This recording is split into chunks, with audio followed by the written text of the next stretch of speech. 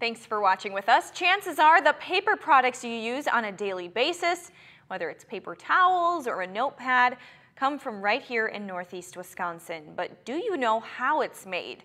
Our Gino Recchia has the answer. Paper is a multi-billion dollar industry in Northeast Wisconsin and a lot of work is needed to turn a tree into paper products that you use. The process begins in two ways. Fresh cut wood that is turned into a pulp mixture, also known as virgin wood pulp, or taking recycled paper material and converting that into a recycled pulp. The Menominee Pulp Mill of Resolute Forest Products takes in 45 trucks of waste paper a day, collecting from homes, businesses, and more.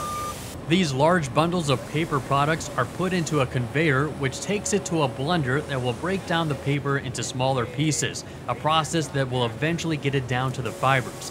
During these steps, unwanted materials are extracted.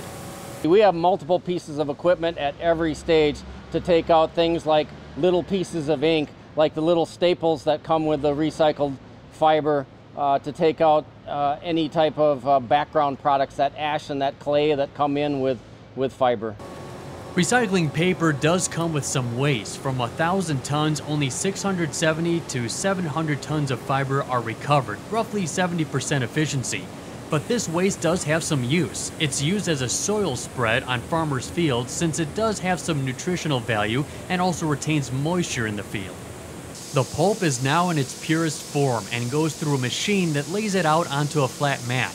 This machine will drain the water from the pulp. Soon after, this material goes through a series of dryers that loop through, making a mile's worth of hot air passes. At the end, the dried pulp is cut up and packaged ready to be sent to its customers to make a paper product. While this is an intensive process, recycling paper into pulp does have environmental benefits. So when people take the time to recycle paper, that's coming through and it goes back into the marketplace making a new product. So it saves, it saves energy, saves water, saves trees. One of the pulp mill's customers is Badger Paper Mill Inc. in Peshtigo, who takes this and transforms it into other paper products.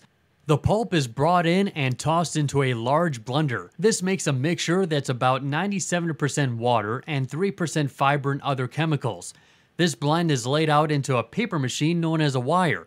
The water is slowly being removed and then goes through a series of dryers that turns this product into 97% fiber and chemical mixture and 3% water. As the sheet exits the dryers, it is now paper. Large spools at the end of the machine collect the sheets and take them to be cut into specific sizes depending on what the end use is. One line of paper is the post-consumer grade. That's the white paper that you use in copy machines. The other line is a specialty packaging paper composed of different wood fibers. That blend is made into a special paper depending on what that end use is, whether it's a twist wrap or a cough drop wrap or an interleaving paper for cheese or meats. All these papers are specifically designed for their end use. While some of the paper is now done for end use, others continue down the chain to a converting company.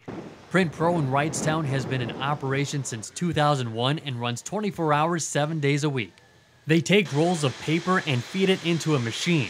The rolls are webbed through a series of printers that apply various colors. The dryer then cures the ink onto the paper, which soon gets spooled into a finished roll and sent out to the customer.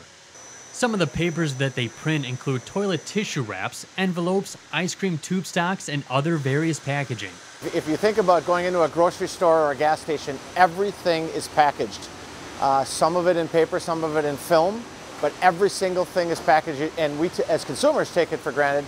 Uh, we rip it off and get whatever's inside and throw it away. But that all has to be produced, and a large majority of that is produced here in the valley. And just to show how big the paper industry is, even the converting machines are made in northeast Wisconsin. Paper Converting Machine Company in Green Bay makes equipment that not only prints onto paper, but also converts the paper too.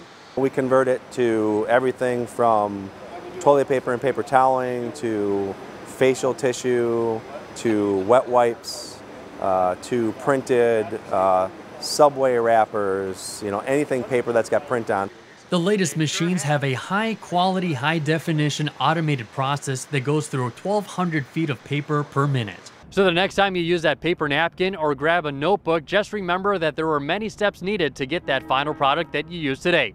Meteorologist Gino Recchia, NBC 26.